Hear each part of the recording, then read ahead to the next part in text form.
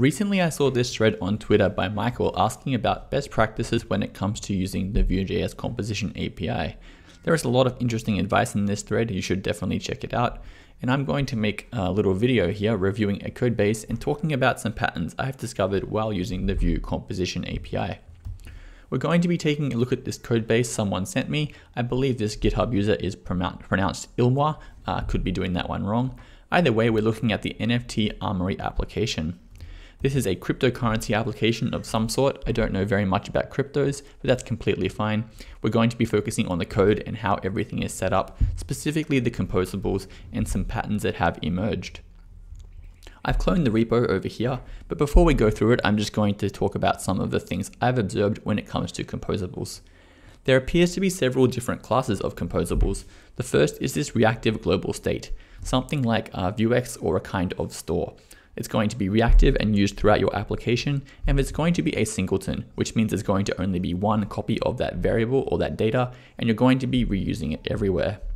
In this application, we're going to see a domain-specific uh, global singleton, which is called useWallet, but there are generic ones as well, for example, Pinia and the useStore composable. There are then going to be domain level reusable reactivity, which we're going to see, and then generic reusable ones as well, something that could be re reused in any application, so it has no domain specific logic tied to it. Finally, at the end of this video, I'm going to make some recommendations. Anyway, let's go ahead and take a look at how this is set up.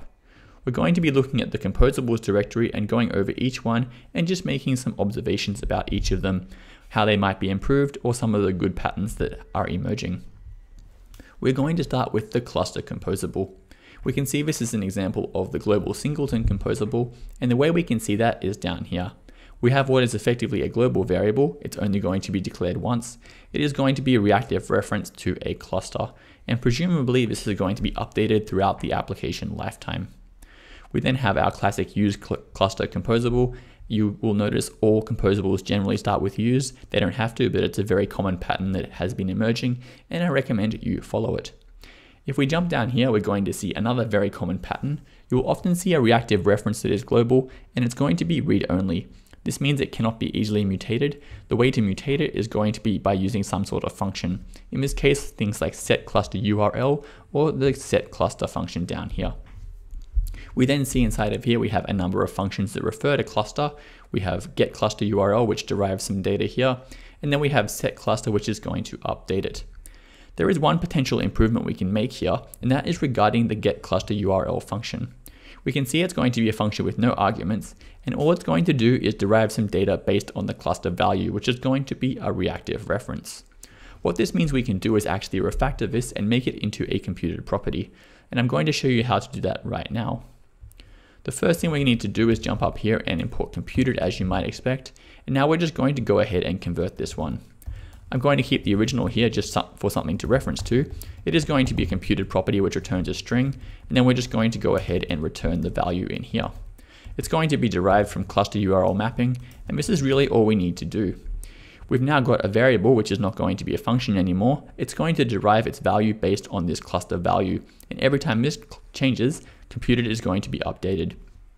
Finally, all we need to do now is go ahead and replace this throughout our application. And that's exactly what I'm going to do here. I'm going to rename this variable get cluster URL to just cluster URL, and then we're going to use value to access the inner value. So let's go ahead and update that one now. Finally, all I need to do is update this as well, and everything is going to continue working as expected.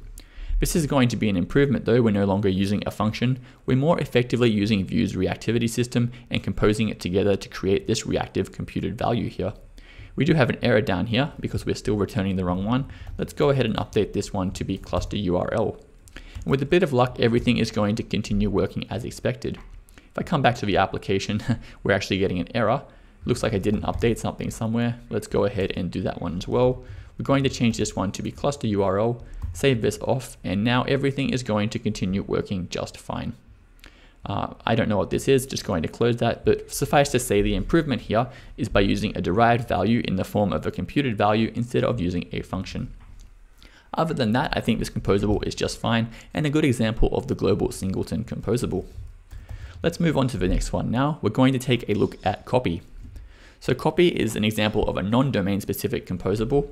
It hasn't got any global variables. Instead, it has a local variable here. So every time you call use copy, you are going to get a fresh string.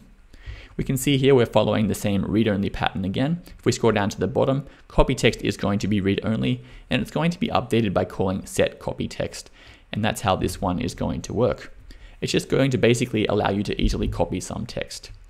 Uh, a good example of a more perhaps production ready copy composable can be found over here inside of the VueUse repository, and it is called use clipboard, and it works in much the same way. If we head over here and actually look at how the source code works, jump inside of here, we can see they're doing something very similar. They're using use timeout and some other composables like use event just to be able to easily copy a value. So definitely worth checking this out. The reason this is a good example is it's using the composition API very effectively. It's actually building a composable from existing composables such as use event listener and use timeout function. And this is one of the nice things about the composition API is you can take lots of little parts and compose them together and make a larger, more complex composable. We're going to jump now into the download composable and we can see this one is a little bit different. Namely, it's not importing any of Vue's reactivity APIs and this is what not what I would really consider to be a composable. The code works perfectly fine, there's nothing wrong with it, but when I see a use download or a use composable, I do expect to have some sort of reactivity and be hooking into Vue's reactivity system, and that is not the case here at all. This code is very reusable, so what I would generally recommend for these is just making it, making it into a plain old function. In this case, what I would do is delete the export, and then we're just going to be left with a couple of very basic functions. All we need to do is format it, so we have two functions here, and finally, all we need to do is go ahead and say export const, maybe download, and then just pass in these two functions. And just like that, we've simplified the code a little bit, and we've kind of revealed this is not really a Vue composable as such, it's just very simple reusable logic.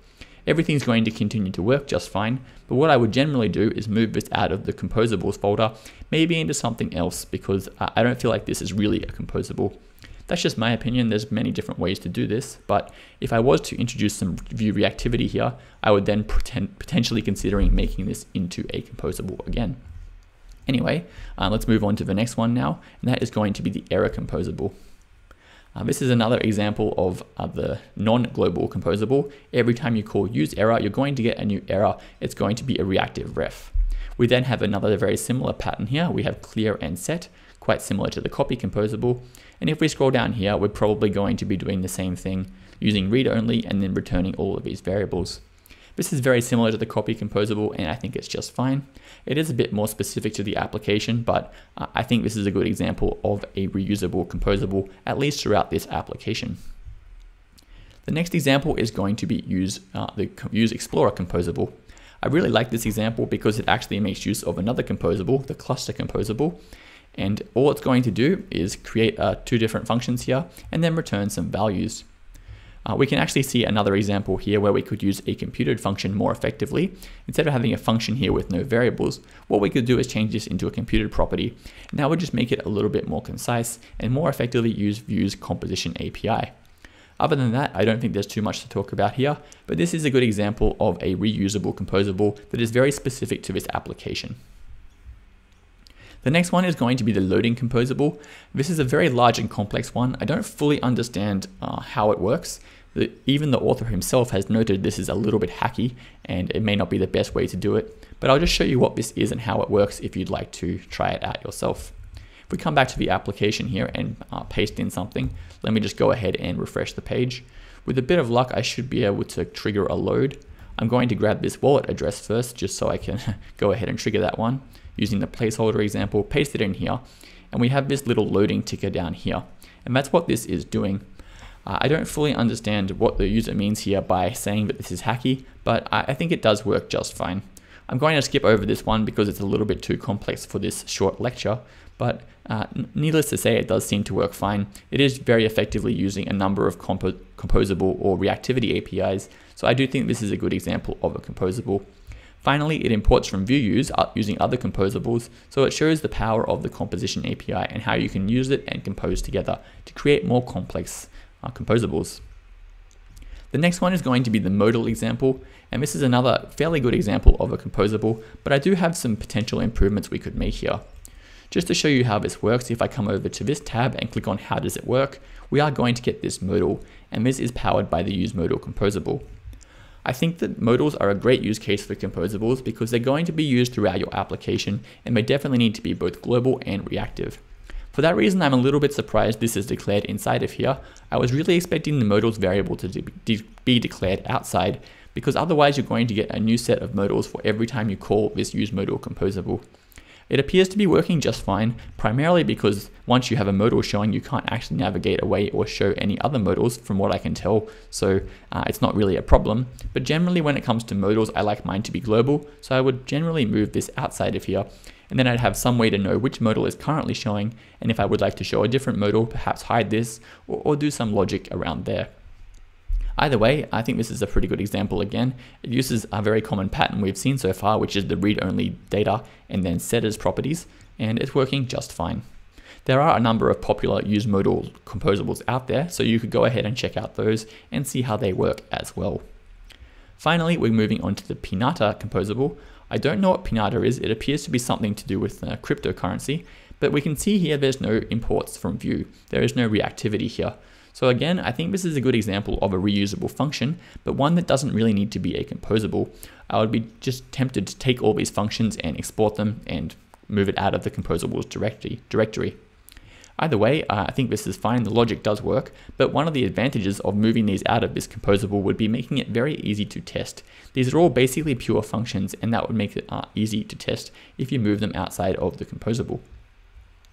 The final one we're going to look at is the wallet composable, and this is probably the most interesting and, in my opinion, the most uh, appropriate composable in this application. You can see it's going to go ahead and import a bunch of reactivity APIs as you would expect, and then we have this concept of a global wallet, which is going to be used throughout the application. We have two of these global variables, so it is the global singleton pattern. Uh, there is one small improvement we can make here, Instead of passing in the ref value here, what we can do is actually delete this and pass it into shallow ref directory uh, directly, and that's going to make this a little bit more concise. Uh, just a little bit of an aside. Anyway, if we go down here, we can see we have our use wallet composable. We have a really good use of a computed property here. It's going to be derived based on the wallet adapter value, so I think this is just fine. We then have an example here of something that probably could be a computed property, get wallet. It takes no arguments and it's based on the value of a computed property or a reactive property. So I would make this into a computed property as well. If we head down here, we have the setter, so that's just going to be fine as well. And if we scroll down, it's much the same pattern here. Again, this probably could be a computed property, same with the get wallet address function as well. Finally, we're returning the read-only property here, and we have a number of getter and setters. So again, another very similar pattern to the other composables is emerging. This is the final composable, and I think we saw a few different patterns here. Just to review and make some recommendations, I'm going to head back here. So one thing I would recommend when you're writing composables is make sure you consider the kind of composable you're going to be writing. There are a few different ones we've seen. We have the reactive global singleton, in this case the business specific ones, use wallet and use cluster, if you'd like to make it more generic, you could potentially do so, for example, creating a use store and then using it to power both of these, and then you could potentially use that in other applications as well. We've also seen the domain specific but non-global singleton composable. For example, use Explorer, you're going to get a new Explorer each time you call the use Explorer composable, and that is using reactivity APIs as well. Finally, we've seen a non-domain specific uh, composable, for example, use copy. If you'd like to see more examples of really good ones, you can come over to Vue Use. They have probably over 100 different composables. These are all very generic and can be used in any different application. So definitely a good resource on how to write good composables. Finally, I would always recommend using computed properties for derived data where possible. Computed properties are one of the most powerful parts of Vue and you should use them as much as possible because they're really optimized and they'll give you great performance and also make your application code more readable. Finally, I would really consider if something you're writing is actually going to be a composable or just plain old functions. For example, as we saw earlier with the use download composable, it wasn't using any reactivity APIs, it was just a number of pure functions. And they are very easy to test in isolation, and there's not really a reason for them to be inside of a composable, but just plain old functions. Pure functions are always good, and you should try and write them as much as you can. They're easy to test and easy to reason about, and more importantly, they're not going to be bound to your UI, uh, UI framework. So for example, if you'd like to refactor to a different framework, or even just do a refactor in the same framework, it's going to be easier to do so. A good example of this is the functional core imperative shell paradigm. There is a playlist here that I created a little while ago. You can go ahead and check this out. But it will show you how you can create your business logic in pure functions separately and then use the composition API to add reactivity and build out the UI layer. In this case, the imperative shell. Anyway, that does bring us to the end of this video. If you do find these kind of code reviews useful, please let me know. I'm still exploring a different content to make, uh, but I would like to make more of these in the future because I think it's really useful to review real world applications and see the kind of patterns people are using and how they are creating applications. Anyway, that's enough for now, and I will see you in the next video.